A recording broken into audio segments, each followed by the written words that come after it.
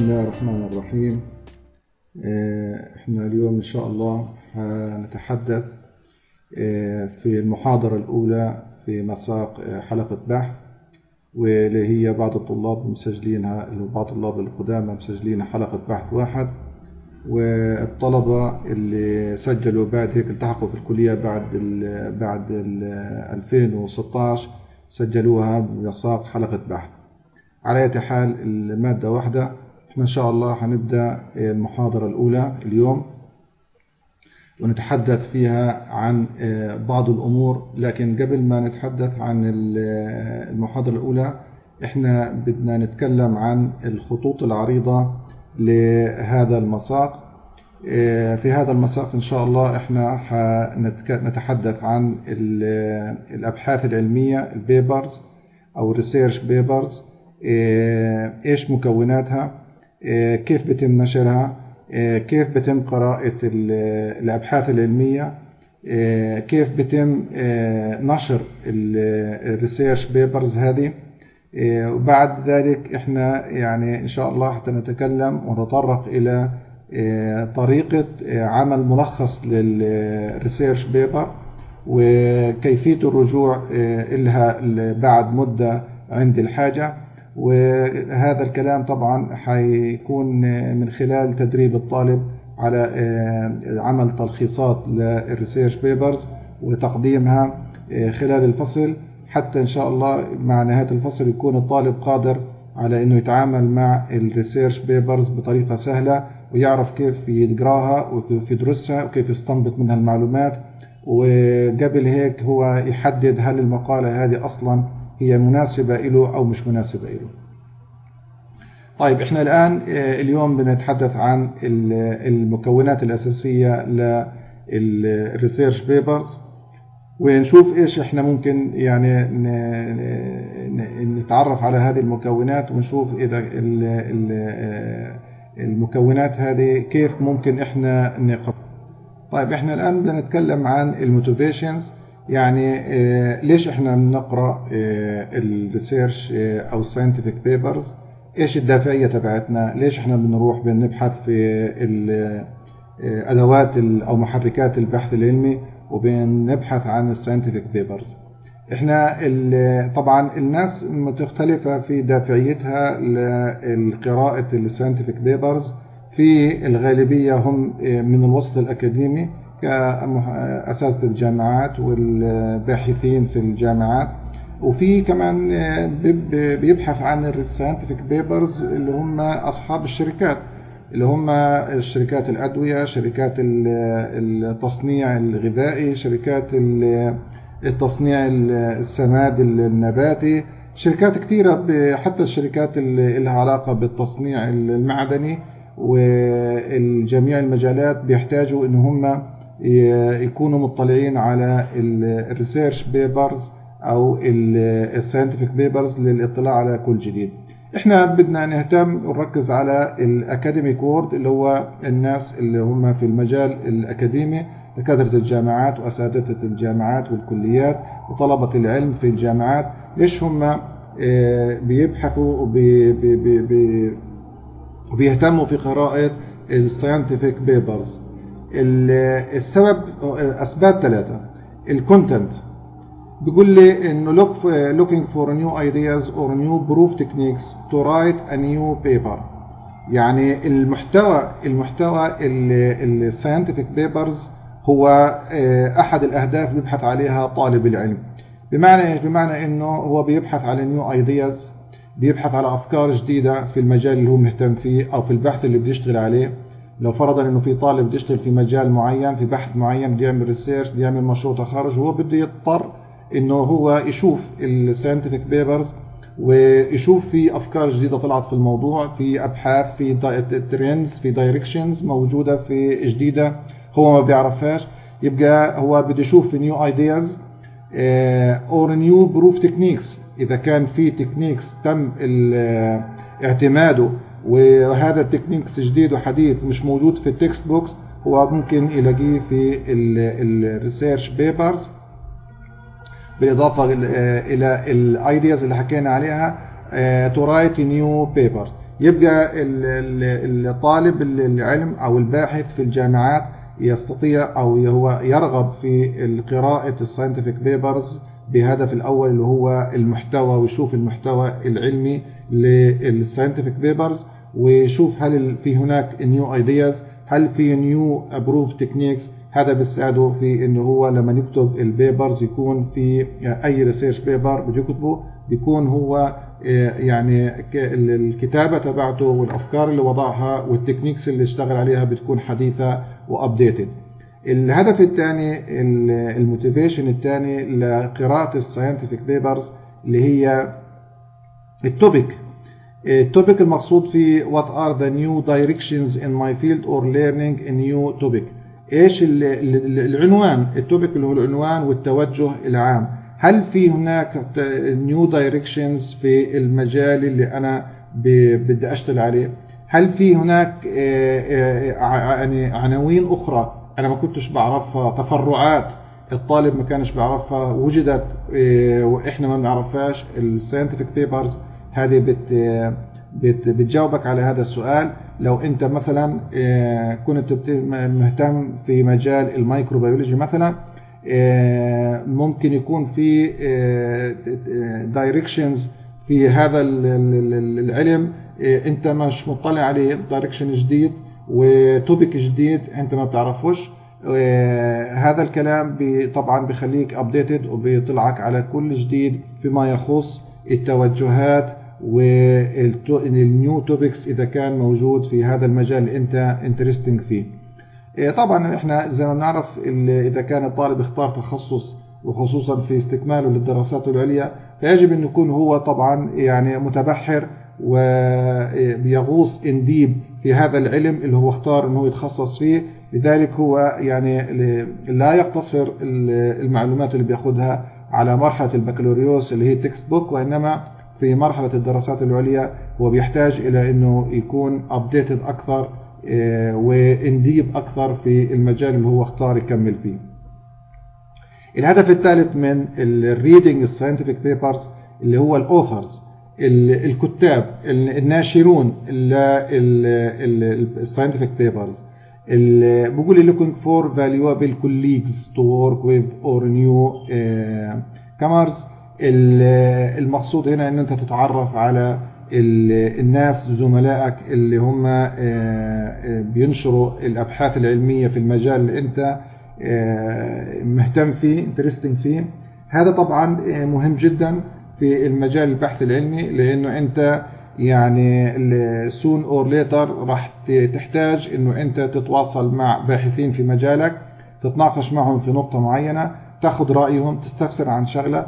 تشوف إيش الأبحاث اللي عملوها في هذا المجال تاخذ منهم data تعطيهم data يعني بيلزم إنه أنت تتواصل مع colleagues وهذول الناس آه، هم ال- المفروض ان أنت تحرص على آه، مراسلتهم والتعرف عليهم آه، على أساس إنه يعني هم في مجال عملك وبالتالي لا يخلو الأمر من إنه يتم تعاون واحتياجهم آه، أو هم يحتاجوك في العديد من النقاط. وبالتالي التواصل مع ال authors جيد اللي هم في نفس مجال عملك. وبالتالي هنا قراءتك لل scientific papers بصير عندك أنت معرفة آه، مين هم الناس المميزين اللي بيكتبوا scientific papers محترم؟ مين هم الناس اللي بينشروا بحث علمي آه، بشكل مستمر؟ مين هم ال authors اللي هم نشيطين وعندهم خلفية واسعة في ال techniques وفي ال وفي ال new ideas للمجال اللي إحنا بنشتغل فيه؟ هذه كلها يعني motivations ودوافع للناس اللي شغالين في ال academic board بحيث إنهم هم يعني يدفعهم لإنهم يقرأوا ال scientific papers اللي هم اللي بنتكلم عنها. اللي بنيجي إحنا ال scientific papers لها taxonomy تصنيفات آه، مش كل التصنيفات إحنا حنركز عليها لكن للعلم في عندنا research reports في workshop papers في conference papers في journal papers بس إحنا بدنا نتكلم على السريع عشان إحنا نعرف إيش يعني المقصود. ال research reports هو بيكون يعني ال report آه، طالع بخص شغلة معينة بيكون باحث عمل research عليها وأخرجها بشكل منفرد وبشكل مخصص لبحث معين مش هذا البحث بيكونش موسع بطريقة يعني واسعة. workshop يعني بيكون عمليا جماعة من الناس عملوا workshop وتناقشت الأفكار وتم استنتاج واستخلاص العبر في موضوع معين. وبالتالي نشر ك paper conference paper طبعا في مؤتمرات علمية بتحدث وبتم عرض أبحاث علمية في هذه المؤتمرات.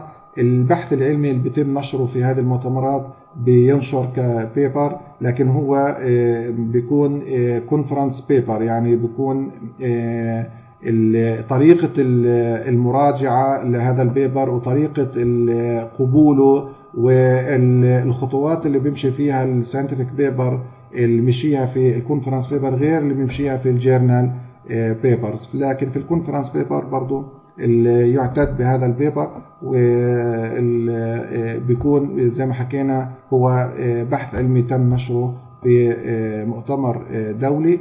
وهذا المؤتمر بيكون بيأتي على العديد من الباحثين كل واحد بيجي طبعا هو بيكون المؤتمر بخص يعني field أو branch معين من ال science وبالتالي بيجتمعوا نحو فكرة معينة أو هدف معين في هذا المؤتمر وكل واحد بيجي بيكون عامل research بيطرح ال research تبعه وبيخرج ك conference paper هذا ال research في عندنا ال journal papers ال journal papers زي ما أنتم عارفين هو عبارة عن scientific paper بيتم مراسلة إحدى المجلات العلمية اللي موجودة في العالم وبيتم عرض البحث على هذه المجلة. المجلة بتقوم بالتواصل مع مراجعين أو reviewers وبيتم تحديد إلها طبعا كل مجلة إلها معايير و criteria لقبول أي بحث علمي.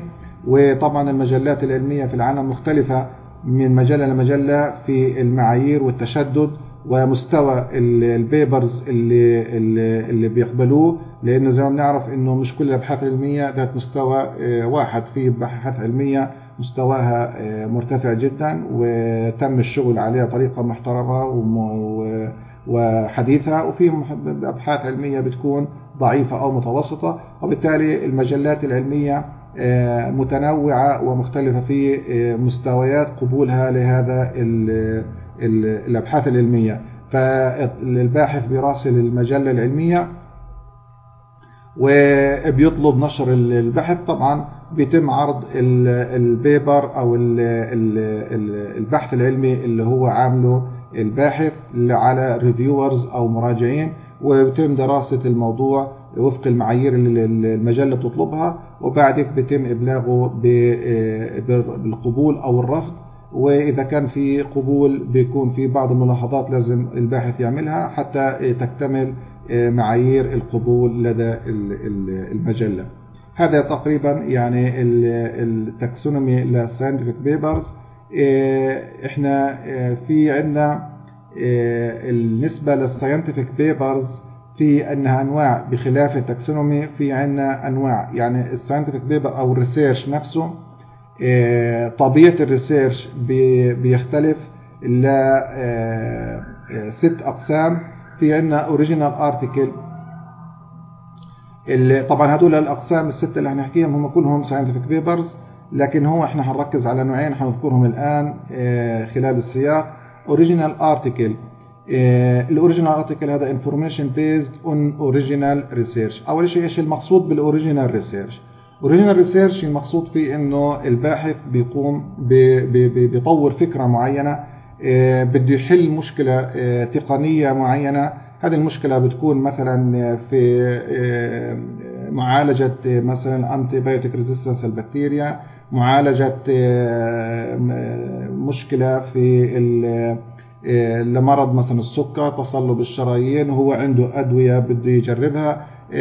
ايا كان ال scientific paper اللي بده يشتغل عليه أو هو البحث العلمي اللي بده يشتغل عليه. فبيقوم بصمم الفكرة وبيبدأ يشتغل العملي وال methods يصممها وياخذ طرق approved سابقة ويبدأ يصمم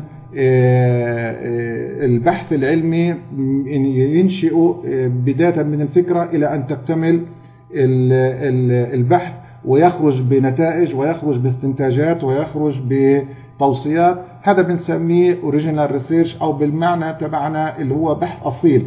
بحث أصيل معناته هو ينتمي إلى صاحبه. صاحبه كان صاحب الفكرة هو اللي اشتغل هو اللي جاب العينات وهو اللي اشتغل بطريقة methodology approved ويطلع نتائج بطريقة صحيحة والنتائج هذه بتخصه هو لوحده. عمل استنتاجات وعمل discussion على هذه النتائج. وطلع ب recommendations وتوصيات. هذا إحنا بنسميه original articles النوع الثاني case report usually of single case case report يعني هو بيكون في حالة بيتم التركيز عليها والحالة هذه بيتم العمل بحث عليها بشكل مكثف. وهذا يعني بالنسبة لطلبة التحاليل الطبية أو المجال الطبي بتكون نادر الشغل على هذا النوع من ال articles أو ال report في عندنا technical notes describe specific technique or procedure. هذا يعني هي اسمها technical notes يعني هو في بيتم تفصيل وشرح بالمفصل ل specific technique وخصوصا إذا كان حديث أو خطوات عمل معينة لخدمة الباحثين. Pictorial essay uh, teaching articles uh, with images uh, بيتم في في ال pictorial essay توضيح فكرة معينة توضيح مفاهيم محددة من خلال ال images المقصود بها ال images اللي هي الصور مع ال tables review articles أو review papers اللي هي المقصود فيها إنه الباحث بياخد مجموعة من ال scientific papers اللي نشرت حول موضوع معين بيبدا هو يلم الموضوع ويلخصه ويلملم جوانبه وياخد الزبدة تبعته ويظهر لنا إياه في review article وهذا طبعا شائع و approved وموجود. جيد هو للباحثين اللي هم بيكون عندهم افتقار للمعلومات كافية عن فكرة معينة. يعني أنت كطالب بدك تعمل بحث مثلا ويطلب منك أنت تسوي بحث في نقطة معينة لكن أنت ما عندكش الخلفية العلمية والمعلوماتية الكافية عن هذا البحث. فهي أسهل طريقة وأسرع طريقة لأن أنا يعني أحوش وأجمع معلومات عن الموضوع هذا اللي أنا ما بعرفش عنه حاجة. أو معلوماتي قليلة عنه إن أنا أروح ل review articles review articles هذه هي عبارة عن article ال author جمع مجموعة من ال scientific papers وأخذ الخلاصة من هنا والخلاصة من هنا واستنتاج من هنا وال data من هنا ويطلع لنا إياه في طريقة سهلة ومنسقة ومرتبة بحيث إنه الباحث بيستطيع انه هو لما يقرأ ال review article ياخذ فكرة ممتازة وجيدة عن الموضوع. commentary هذه بتكون باحث له notes معين على نقطة محددة بيكون هو بيذكر رأيه فيها. إحنا اللي اللي بيهمنا نركز عليه في المساق هذا إن شاء الله اللي هو أول واحدة ال original article أول البند هذا original article هذا إحنا هنهتم فيه. وال review articles هذا برضو يعني هو أكثر النوعين من ال scientific papers اللي هم يعني مشهورين ومتداولين في مجال البحث العلمي.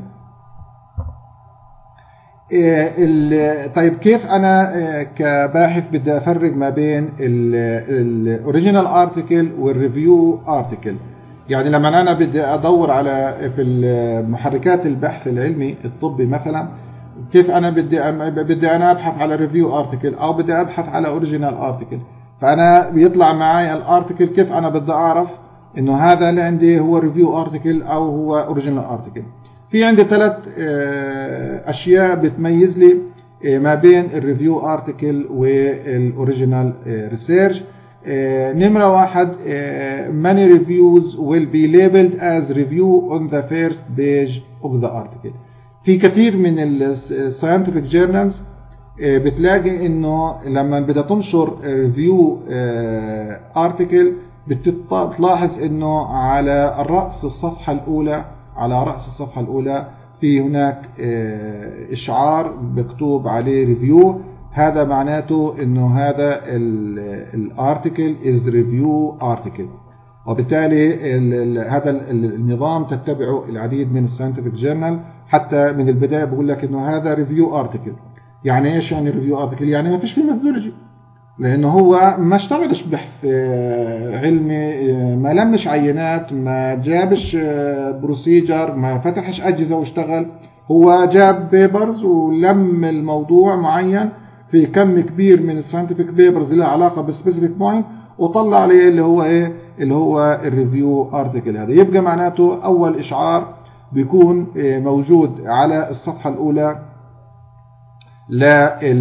لل scientific papers ال published وبكون مكتوب review يعني معناته هذا review article العلامة الأخرى إنه هو ما فيش فيه methods إحنا حكينا قلنا إنه ال review articles هو ما اشتغلش عينات ما اشتغلش على أجهزة ما عملش محاليل ما اشتغلش يعني في إيده شغل عملي. وبالتالي هذا ال article اللي ما اشتغلش هو مش مش هو لا يحتوي ويفتقر إلى اللي هو جزئية ال methodology أو ال material materials وال methods وبالتالي هذا يعني علامة ثانية. ثلاثة في الريفيو ارتكلز الجرافز والتيبلز والفيجرز containing actual data will contain contain citations in the figure linked to the primary research paper that originally reported in the findings. يعني هو لما بيجيب انت انت في البداية في ال original article لما انت بتعمل جدول الجدول هذا بناء على شغلك في ال methodology وبالتالي هذا الجدول انت اللي عامله. طيب لما أنا بشتغل في البحث علمي وبيطلع عندي نتائج تحت الميكروسكوب أو نتائج على ال gel electrophoresis أو نتائج في ال PCR أو أو أو وأنا بقوم بصور هذه النتائج هذه النتائج هذه الصور تبعتي والجداول تبعتي وال data هي تبعتي أنا. وبالتالي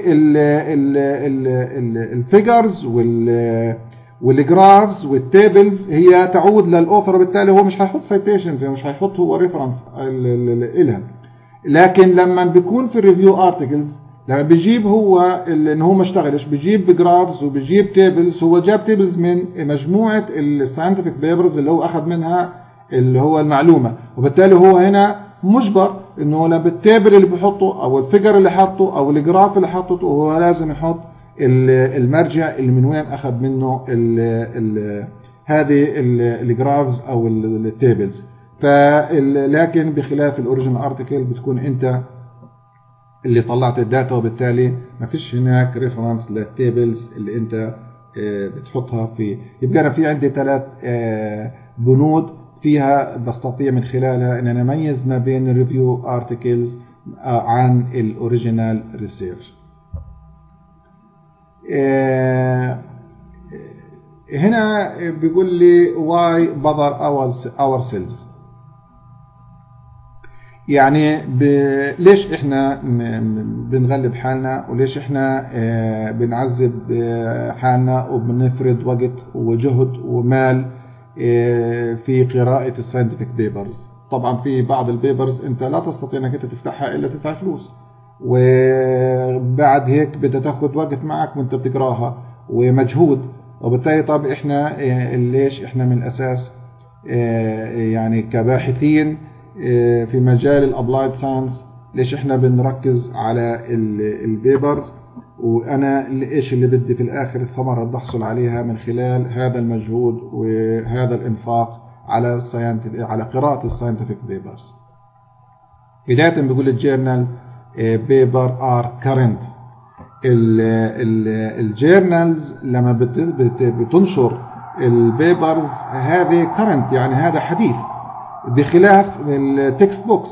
لما أنا كطالب مرحله البكالوريوس في في الجامعة بيكون عندي textbook. ال textbook هذا ممكن الجامعة تقبل إنه هو يكون قبل أربع سنين خمس سنين ست سنين. ليش؟ لأنه هو textbook هو يحتوي على المعلومات الأساسية اللي هو طالب في مرحلة البكالوريوس بيحتاجها حتى يتأسس بعد ذلك إلى البحث العلمي. وبالتالي هو بيكون مش بالضرورة مش بالضرورة إنه يكون ال textbook هو لازم يكون update سنة بسنتها لا. هو textbook يعني هو بيحتوي على معلومات وحقائق علمية معروفة قديما وصيغت بأسلوب شرح معين وطالب في مرحلة البكالوريوس لأنه هو مرحلة البناء هو بده بيحتاج إلى ال textbook. لكن ما يميز ال journal papers هو إنها current حديثة و updated طيب يبقى هذا سبب مقنع وسبب أساسي إنه حداثة المعلومة اللي أنا باخذها وبستقيها من ال research journal السبب الثاني ال journals are generally the most accessible means of obtaining the information that you need. ال journals هي أسرع وأسهل طريقة إنك أنت تاخذ من خلال ال scientific papers المعلومات اللي أنت بتحتاجها.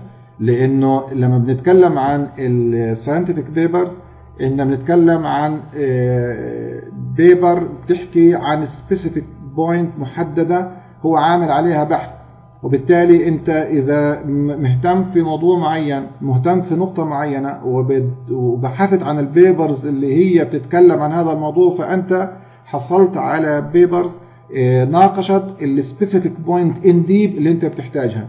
وبالتالي هذا أسهل من ان أروح لكتب بتكون المعلومة أكثر شيء يعني ما إلى إلى ال general information أو ال theory وبالتالي الحصول على ال information بيكون أكثر سهولة وأكثر مباشرة من خلال ال scientific papers البند الثالث اللي بيدفعني إن أنا أروح على ال scientific papers you can get good explanation for your data and enough detail to replicate what you read about. في ال scientific paper لما أنت بتقرأ ال paper scientific paper معين بما يخص specific point أنت مهتم فيها في في آخر ال paper explanation في discussion هو بيظهر الكاتب بيجيب لك ال methodology وبيجيب لك النتائج وفي آخر ال paper بعد النتائج بيصير في discussion و explanation لهذه ال data. هذا الكلام مهم جدا للباحث ولطالب البحث العلمي لأنه هو بيصير يعرف كيف الناس بتفكر وكيف الناس بت بتتعامل مع النتائج تبعتها وكيف الناس بتخرج أفكار خلاقة مبدعة من خلال النتائج اللي طلعت معاها في في فصل ال results. فإذا كان إذا كان أنت مهتم في نقطة معينة وأنت طلعت papers بتتكلم عن هذه النقطة معناته أنت هتاخد explanation ل data مهم جدا ومحترم.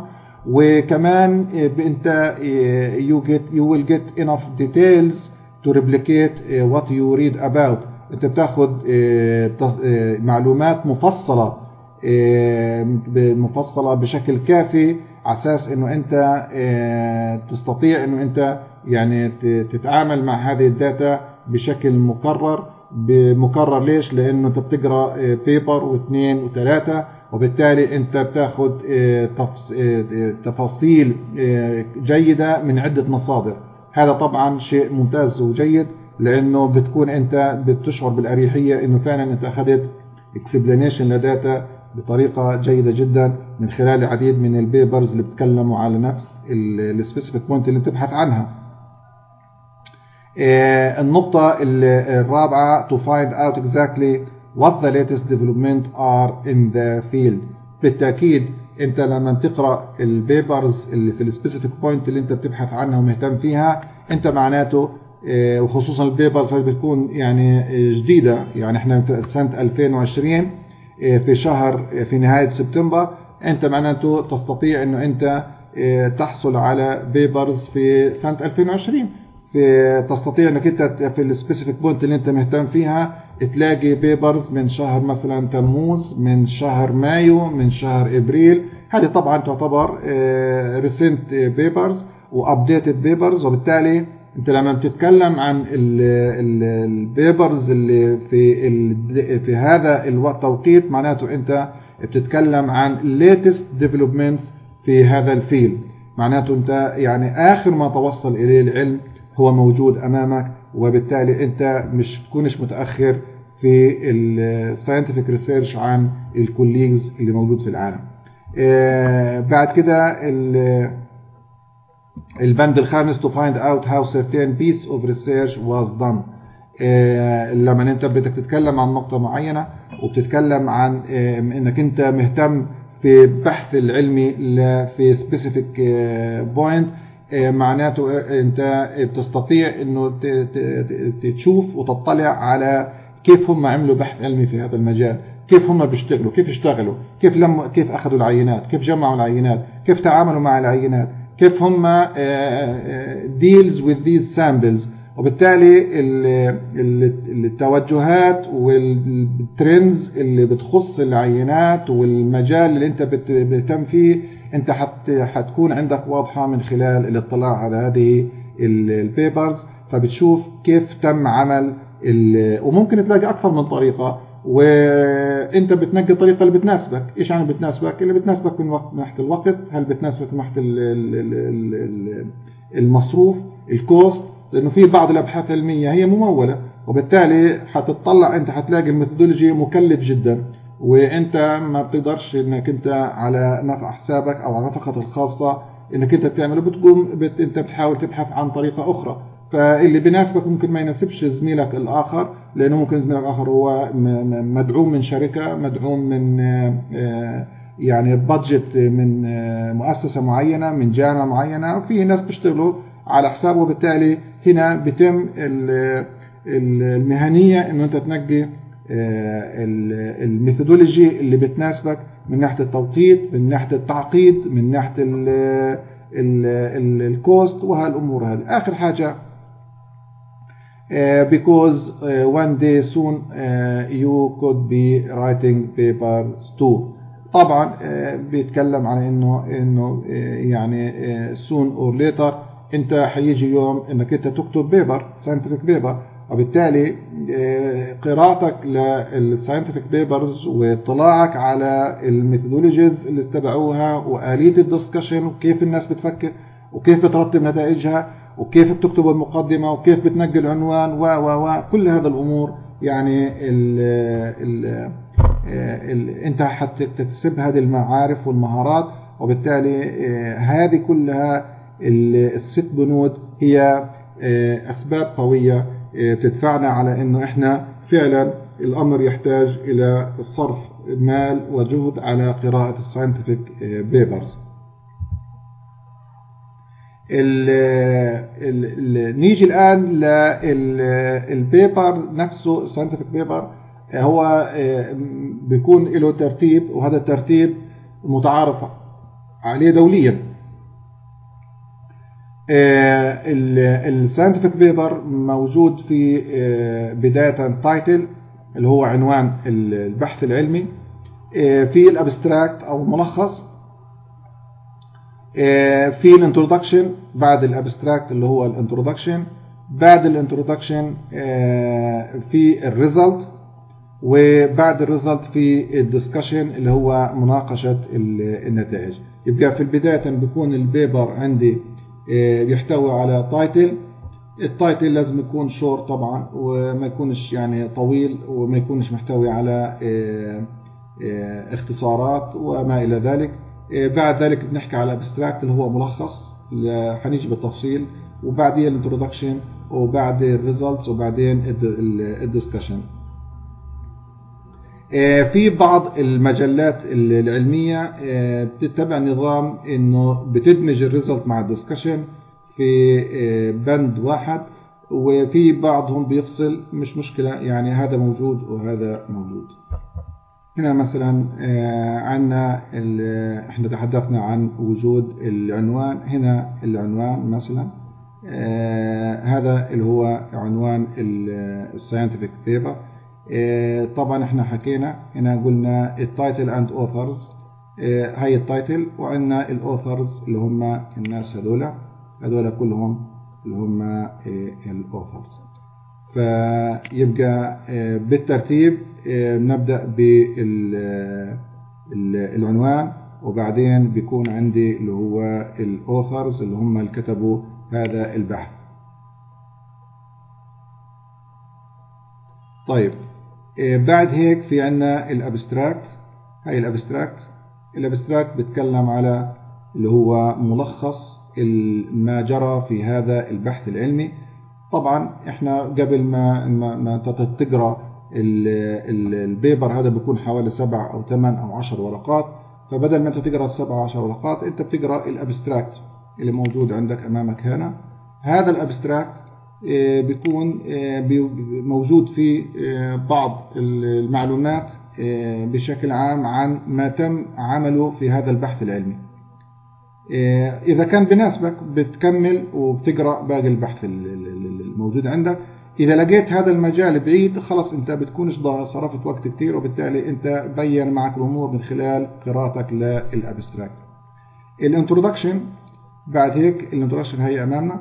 هذا ال introduction يعني بتكون تقريبا في حدود صفحة. الآن قدام إحنا حنحكي إيش اللي بنكتب في ال abstract بالضبط وإيش بنكتب في ال introduction بعد ال introduction في عندي اللي هو ال materials and method و اللي عندي ال material and methods فيها المفروض إنه هو الباحثين بي بيتكلموا بالضبط هم إيش اللي عملوه خلال اجرائهم لهذا البحث العلمي.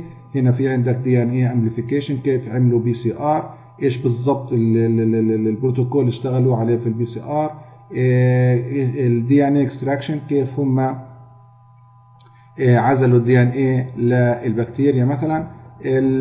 كيف عملوا ال DNA sequencing وكل أمور هذا بالتفصيل كيف هم اشتغلوا على الكلام هذا.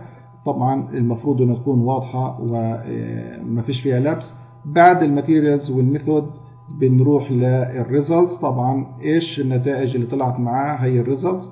بيبدأ يعرضوا النتائج اللي طلعت معاهم.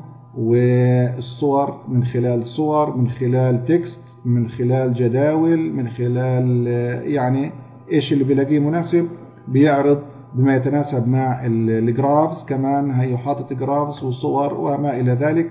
كل هذه الأمور النتائج اللي ظهرت معاه بيعرضها بالطريقة اللي بشوفها مناسبة وواضحة للقارئ.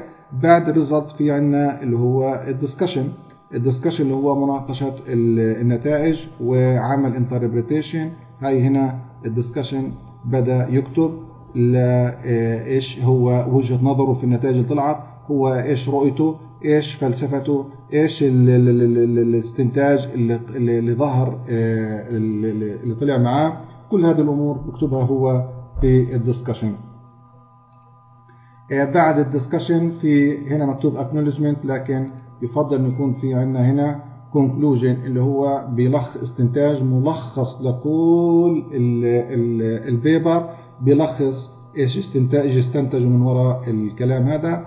بعد هيك هو بيروح لل acknowledgement ال acknowledgement اللي هو المقصود فيها يذكر الناس أو المؤسسات أو الهيئات أو الجهات اللي هم كانوا مساعدين أو الأشخاص المساعدين له للباحثين في هذا البحث العلمي. مين قدم له معلومة؟ مين ساعده في العمل؟ مين ساعده في جمع النتائج؟ مين اعطاه دعم مادي؟ مين هيأ له المختبر تبعه؟ كل الناس اللي ساعدوا في اجراء هذا البحث العلمي المفروض إنهم يذكروا في بند ال acknowledgement بعد هيك بنكتب ال references. أي معلومة انت استقيتها من الخارج يجب أن يتم توثيقها. من خلال ال references وال references زي ما أنتم شايفين هنا أيوه بيتم ذكر كل ال references اللي هو اللي بتوثق اللي اللي من وين مصدر المعلومات اللي انت جبتها اللي هي خارج معلومات اللي انت ال data تبعتك. اللي في يعني مذكور في مثلا في المقدمة المعلومات اللي انت قارنت فيها شغلك مع شغل غيرك. طب جبت لما انت جبت لما انت ذكرت شغل غيرك من وين جبت المصدر؟ كل ال reference هذه بعدين في بعض الناس بحط ال figures وال table مع مع ال results في بحطها في الآخر. مش مشكلة هذه يعني ال organization لل papers وهذا ال organization يعني هو المعتمد عالميا وجميع ال journals بتمشي عليه في نشرها لل scientific papers نكتفي اليوم عند هذا الشريحة. وإحنا المحاضرة القادمة إن شاء الله راح نتكلم عن التايتل والأوثرز وكيف بيتم يعني ترتيب الأمر هذا والعمل على يعني إخراجه بالشكل العلمي الصحيح. نكتفي عند هنا والسلام عليكم ورحمة الله وبركاته.